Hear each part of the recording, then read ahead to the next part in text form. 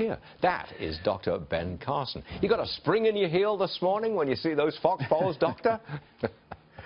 Well, you know, I don't, I don't put a lot of stake in the polls because, as you know, historically, presidential polls have, have frequently been off. But it is more encouraging to yeah, see them moving You're happy in, to in see direction. it. I know you're happy to see it. Do you think that, that uh, now, Donald Trump has stuck to the issues, certainly uh, for, for this week, and he's not gone off on a tangent attacking women. He's stuck to the issues and he's winning on the issues. Do you think he Absolutely. should now pivot a little bit and attack Hillary Clinton on her scandals?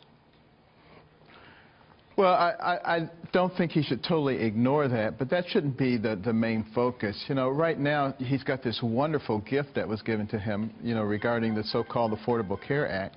And, uh, you know, he needs to be emphasizing what this means. You know, basically, it's a rob Peter to pay Paul scheme.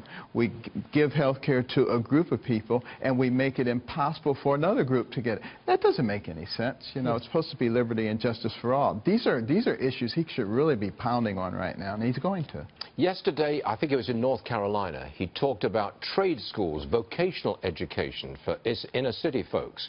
Um, you approve of that? You think that's a good line of approach?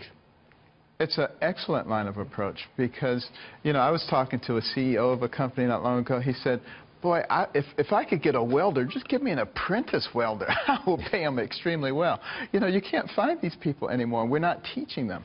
And uh, it's one of the areas that, that Donald Trump has talked about. You know, we have all these people going into prisons, and they go in with little education and no skills, and they come out with little education and no skills. We could give them some education and some skills and help them obtain a job, it would change the trajectory of their lives and cut down on the recidivism rate because we need to develop all of our people. Do you think he can win? I know that's a loaded question for a man who's been backing Donald Trump for at least a year, but is it not, it's not too late, you say? Uh, my prediction is that he is going to win.